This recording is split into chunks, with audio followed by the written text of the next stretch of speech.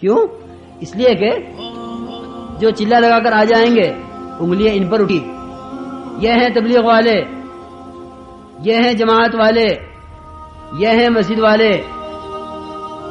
अब लोग यूँ नहीं कहेंगे, इनकी तहजद देखो, इनके गश देखो, इनकी तालीम का हल्का देखो। नहीं, लोग कहेंगे, इनकी शादियाँ देखो, इनके लिबास देखो, इनके खाने देखो। मालिया साहब रहमत फरमाते थे कि जब तक हमारे काम करने वालों में सिफात दावत नहीं आएँगी, उस वक्त तक अल्लाह ताला इनको उम्मत की हिदायत का ज़रिया नहीं बनाएगा। हम उम्मत की हिदायत का ज़रिया बनने के लिए निकल रहे हैं, अल्लाह के राह हमें उम्मत को हर हर तरह से वहाँ लाना है, जहाँ उम्मत को छोड़कर जहाँ विश्वास तशीफ ले गए हैं। वहाँ लाने के लिए हर वो काम हमें करना होगा। हमारे बहुत सी पाबंदी होंगी। हम अल्लाह के राह में निकलकर आज़ाद नहीं होंगे, बल्कि ये दावत तबलीग, ये साहब कराम की नकल है। नकल जब तक असर के मुताबिक नहीं होती मुअसर नहीं होती। याद रखो।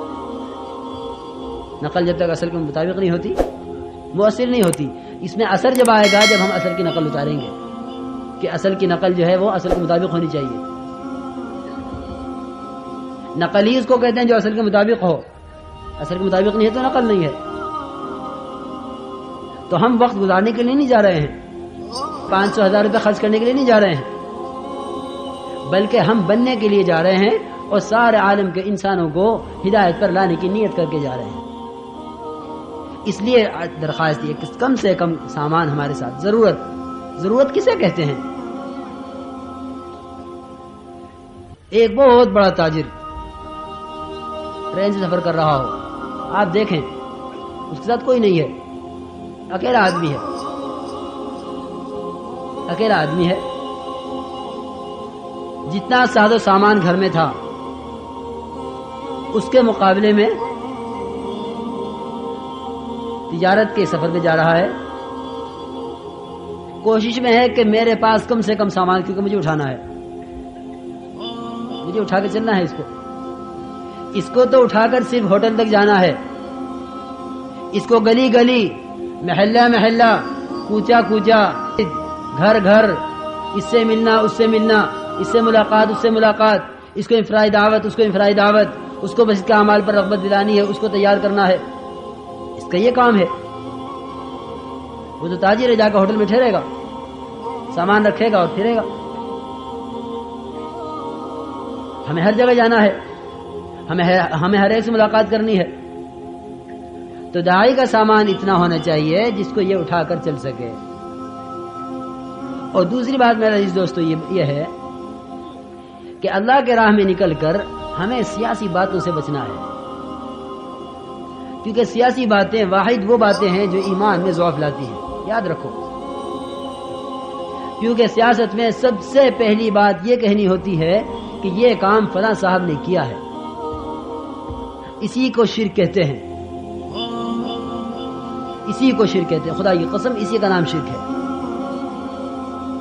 कि यूँ हुआ तो यूँ होगा, वो यूँ कर देगा तो यूँ हो जाएगा। फिर दूसरे दर्जे में? जो कह के, अगर हम सियासी बातें करेंगे, अल्लाह के रास्ते में निकल कर तो फिर मुल्क को माल से होना, यही सीख कर आएँगे। उम्मत को ये सिखला कर नहीं आएँगे, और ये खुद ये सीख कर नहीं आएँगे कि अल्लाह की जात से होता है, अल्लाह के करने से होता है। फिर हमारे काम का मिजाज कि हर एक जानता है कि भाई इस काम का सियासत से कोई ताल्लुक नहीं है। को, कोई ताल्लुक उनके सियासत से नहीं है। ये एक सीधी सादी जमात है। अल्लाह वाली जमात कहलाती है। इनका काम सिर्फ़ आमाल को ज़िंदा करना है। इनका काम सिर्फ़ आमाल को ज़िंदा करना है। ये आमाल ज़िंदा करते हैं आमाल की मेहनत करते हैं। आमाल की मेहनत में हम जब कामयाब होंगे जब आमाल से कामयाबी के उम्मत में लाने का हमें यकीन होगा। लेकिन अगर अमाल को करते हुए अमाल के अलावा से मसाइल के हल होने को बोल रहे हैं, खुदा के राह में निकल कर तो फिर अमाल से होने का यकीन नहीं दिला सकते उम्मत को तो एक हमें निकल कर अपने, यानी मकाम पर तो हो जाती है इधर उधर की खबरें सुन लेते हैं, खबरें एक दूसरे को पहुँचा देते हैं। लेकिन अल्लाह के रास्ते में निकल कर हमें सियासी बातों से बचना है, इज्तनाब करना है कि भाई सियासी कोई बात नहीं। फिर वहाँ जाएँगे इलाकों में। वहाँ इनफरादी इज्तमी मुलाकातें होंगी। मुलाकातों में कोशिश इस बात की हो।